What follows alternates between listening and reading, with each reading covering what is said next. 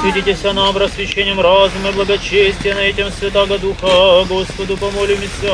Господи, помилуй. Окунуться в крещенскую купель православные могут в бухте Навик на острове Русском. Обряд освящения воды провели служители Свято-Серафимовского мужского монастыря. Я как каждый год купаюсь уже не помню сколько, с 10 кажется, с 7 Грехи это, конечно, не смывает, а для здоровья. И для меня важно, да. Хотел давно попробовать. Что-то не случалось. Только с колодца поливался, было дело. А вот для меня окунуться в прорубь – это завершение литургии как бы и праздника. И еще я себя проверяю.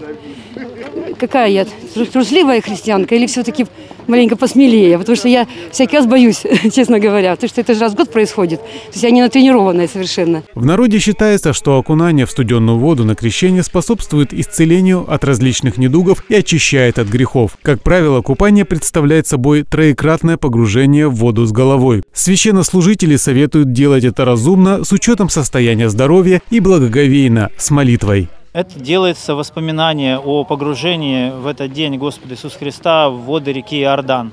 Христос вышел на общественное служение и принял крещение от предтечи Иоанна. Вот. Это был такой чин, э, когда люди исповедовали свои грехи, погружаясь в воду. И служение Иоанна Предтечи, оно как раз э, в этом заключалось. Он готовил народ покаянием к пришествию Христа. Так что, конечно, здесь смысл-то духовный, не, не такой вот физкультурный.